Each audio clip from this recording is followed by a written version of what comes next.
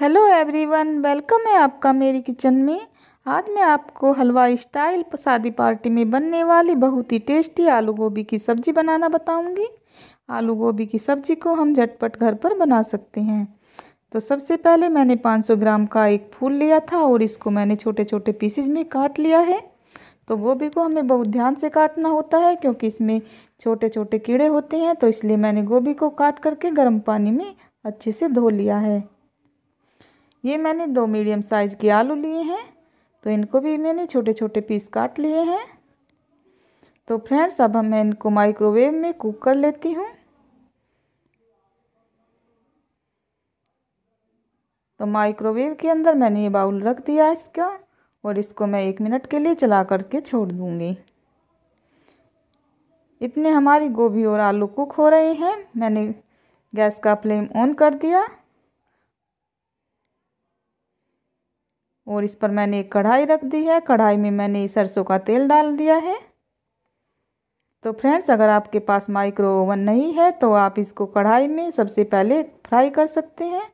तो ये हमारा जो गोभी आलू अच्छे से कुक हो गया है। मैंने माइक्रो ओवन से इसको निकाल करके बाहर रख दिया है। और तेल में गर्म होते ही मैंने इसमें डाल दिया है एक चम्मच जीरा। और जैसे ही हमारा जीरा भुन गया, मैंने इसमें प्याज का जो बारीक चॉप किया हुआ था, ये डाल दिया है।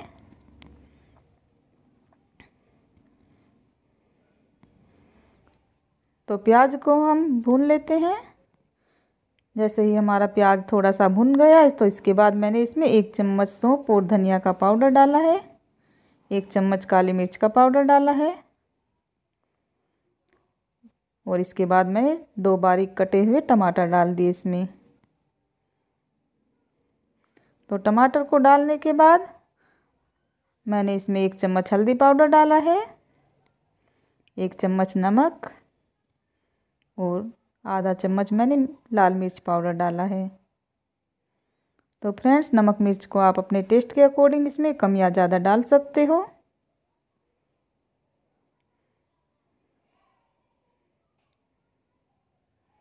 तो इन मसालों को हम मीडियम फ्लेम पर अच्छे से भूनते रहेंगे।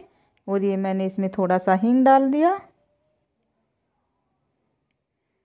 मसालों को हम तब तक भूनते रहेंगे जब तक इसमें साइड से तेल निकलना शुरू न हो जाए। तो आप देख सकते हो हमारे जो मसाले अच्छे से भुन गए हैं और साइड से तेल भी निकल रहा है।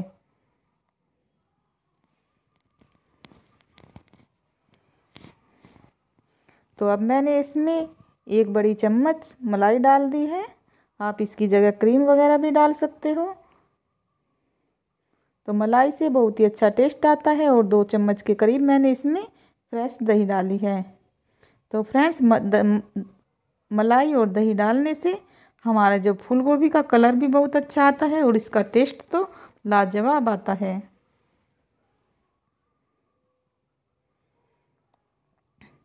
तो दही और मलाई को हम मसालों में अच्छे से भून लेते हैं। तो अब मैंने लिए हैं ये गोभी और आलू।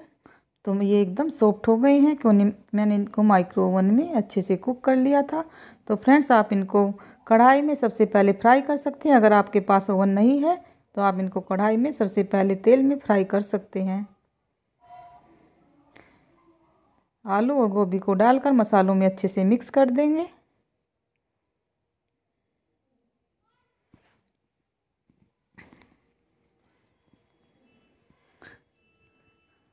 और अब हम इसको ढक करके तीन मिनट के लिए छोड़ देते हैं।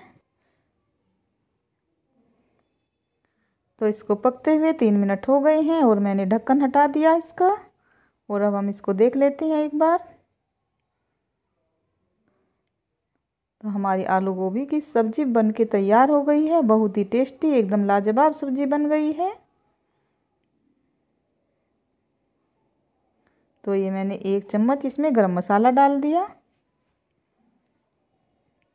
तो गरम मसाला हम हमेशा सब्ज़ी बनने के बाद ही डालते हैं। इससे हमारा जो सब्ज़ी का टेस्ट बहुत ही अच्छा आता है। ये मैंने ताज़े हरे धनिया की कुछ पत्ती ली हैं, इनको भी मैं चाकू से काट कर इस पर डाल देती हूँ। तो फ्रेंड्स, इस तरीके से आप हलवाई स्टाइल आलू गोभी की सब्ज़ी घर में जब भी आपका मन करे, झटपट बना सकते हैं। बहुत ही टेस्टी सब्ज़ी लगती है। एक बार आप बना करके देखिए। बहुत ही टेस्टी लगेगी। तो फ्रेंड्स, ऐसी ही हमारी रेसिपी को देखने के लिए हमारे चैनल को सब्सक्राइब करें, वीडियो को लाइक करें, शेयर करें। और अब मिलती हूँ अगली वीडियो में अगली रेसिपी के साथ। तब तक के लिए बाय बाय